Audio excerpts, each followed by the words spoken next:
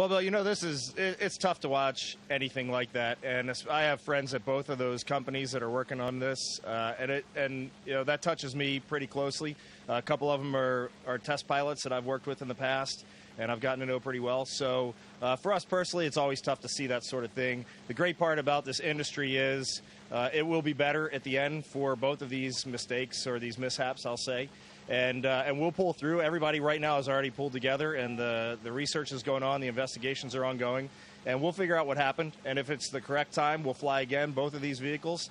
And uh, and if they determine that they can't, then we'll look for other options down the road. But I definitely think this you know this is this is a setback that happens in this industry, and there will be recovery, there will be healing, and then there will be uh, success down the road. Well, anytime humans try to contain the amount of energy that's required to send stuff into orbit, you know, every once in a while, a little bit of that is going to escape and we're going to have an accident. And uh, this is never going to be a perfectly safe environment, uh, especially not in the launch and landing industry.